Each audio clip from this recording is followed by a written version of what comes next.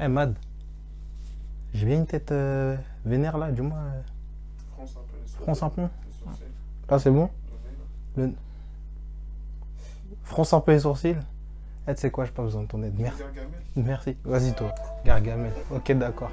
Pico, on envoie.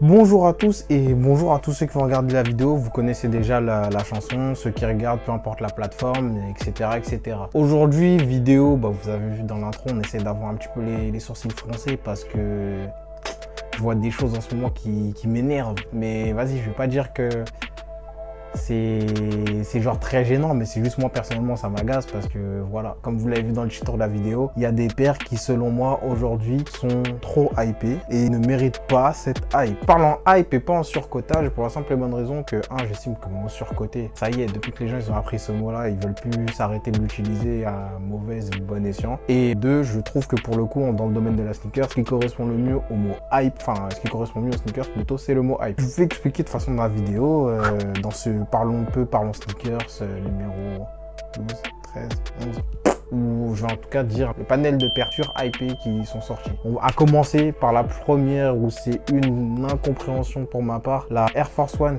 Kiss, la Paris qui est sortie, merde j'ai dit deux alors que c'est. La Paris qui est sortie début d'année alors que Enfin, pas ouf. Enfin, moi, de mon point de vue, c'est juste une paire blanche avec le logo bleu, blanc, rouge. Si t'es pas très patriote, bah, bizarre. Mais même avec la semelle, ok, on va dire, elle est beige ou acre. À part ça, euh, je comprends pas. Il y a eu un mouvement incroyable dessus, alors que la paire, elle est vraiment euh, normale. Enfin, c'est une Air Force One, quoi. Genre, il y a rien qui me surprend dessus. En plus, il y en a une deuxième, la Hawaii, c'est pareil. À part me mettre un coloris, genre un petit peu plus clair ou fort sympathique, Franchement, archi moyen. Bon, mais encore une fois, hein, c'est de mon avis. Franchement, la Air Force One Kiss, c'est peut-être pour moi la paire qui a eu une hype qu'elle ne mérite pas. Genre aujourd'hui, je vois dehors, je vais dans Paris, je vois des paires bah, je trouve pas qu'il y a un truc de ouf. Et d'ailleurs, maintenant que j'y pense, j'en ai rarement vu des paires.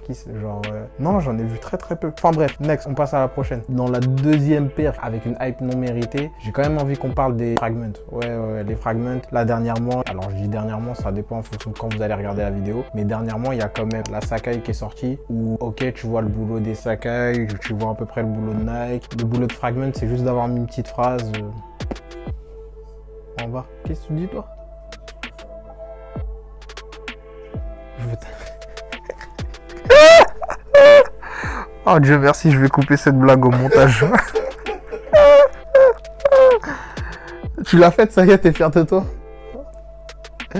Oh, c'est très très grave. Donc euh, ouais, non, la Sakai, ou euh, bah ouais, non mérité parce qu'il y a très peu de travail de, de fragment dessus. Genre, il y a juste une petite phrase écrite. Et c'était même pas celle-là à laquelle je voulais faire référence de base. Celle à laquelle je voulais faire référence de base, c'est la Jordan euh, 3 Fragment.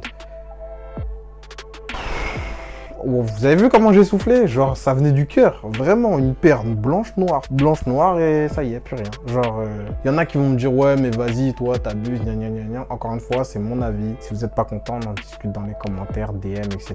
J'en vois déjà deux, trois. J'ai déjà des têtes là, qui je les vois arriver de très très loin. Mais vraiment, la Jordan 3 Fragment, autant la 3 Rust Pink, j'en parlerai dans une autre vidéo. Elle est vraiment fort sympathique.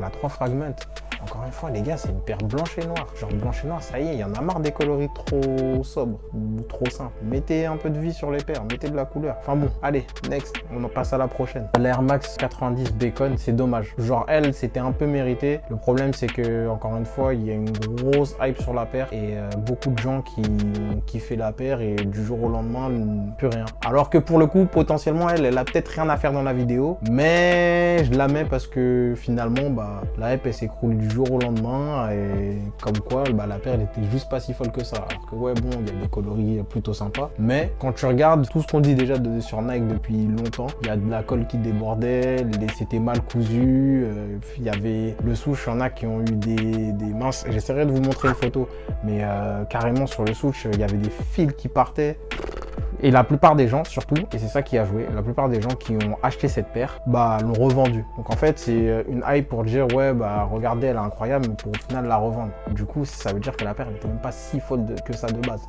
Enfin bon, c'est pas la plus importante dans la vidéo, mais pour moi, ça reste quand même une des paires qui a son, mot à dire sur les 9 premiers mois qui sont déjà passés. On passe à la suivante. La Kianit, la 700 V3 Kianit, qui n'est autre que pour moi la paire la moins, pas la moins bonne. Allez, je vais être méchant, pas la moins bonne, mais c'est pas la meilleure déjà de 1. Mais on m'en a parlé comme si c'était la meilleure 700 euh, V3 qui était sortie. Ok, soit, j'entends. Mais la 700 V3 Kianit, un peu comme la Air Max Bacon, beaucoup de hype dessus, beaucoup de gens qui ont dit incroyable quand ça va sortir, Le jour où elle est sortie, beaucoup de reventes, très peu de gens qui la portent. Et encore une fois, je vise personne parce que là, j'ai un pote en tête. Cœur sur toi. Mais euh, je sais même pas s'il l'a encore regardé ou pas. Bref, mais euh, la 700 V3 Kianit, c'est incompréhensible incompréhensible. Et je tiens à donner un petit point en plus sur la salle Flower qui est euh, un bébé incroyable, un gros bijou. Bisous à celle qui est à la maison, t'oublie pas. Mais en tout cas, la Kianit horrible. Et je passe à la suivante et à la dernière qui n'est autre que la Street Hawker. La Street Hawker, pour le coup, là, moi qui dis ouais, Nike, ils font pas assez de taf, euh, gna gna. Pour le coup, il y a du taf, il y a des couleurs. C'est un coloris compliqué à porter. Si tu fais ton outfit, faut que tu fasses un outfit euh, carré pour que tu pètes bien le score. Il y avait un gros potentiel, donc au début, hype bien mérité. Tu, tu dis, oh, franchement, ça change. Dunk low, terrible. Et euh, en fait, euh, bah, le jour où ça sort, c'est pareil. Genre, on est sur une paire qui repart en vente parce que c'est une Dunklo. Les Dunklo en ce moment, ça sont des biens. D'ailleurs, faudrait que je mette un petit screen StockX. Je sais pas, je crois qu'elle doit être à combien. Là, j'ai pas regardé, mais je pense qu'elle doit être encore à 500, peut-être 400. Allez, entre 300 et 400.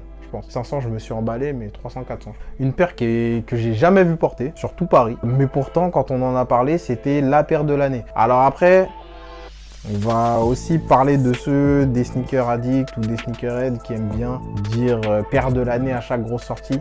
Je vous en veux pas les gars, mais on peut pas parler comme ça de chaque paire, c'est pas possible, on s'y retrouve plus. Hein c'est comme avec les albums. J'en parlerai dans une vidéo, mais cette chaîne, elle est pour euh, les sneakers. Mais c'est comme pour les albums. On vous voit ce Twitter. On vous voit très très bien même. En tout cas, pour moi aujourd'hui, ça s'arrête là parce que je voulais pas trop passer mes nerfs sur la vidéo. Je voulais juste montrer qu'il y avait des paires où on en faisait un peu trop et qu'il n'y a pas lieu d'en faire autant. Et de toute façon, qui dit paires qui en, font un peu trop, dit qu'il y en a qui sont passées à la trappe alors qu'elles sont incroyables. J'en parlerai dans une autre vidéo. Bref, sur ce, je m'arrête là pour aujourd'hui. Cœur sur vous, portez-vous bien. On se retrouve à la prochaine vidéo.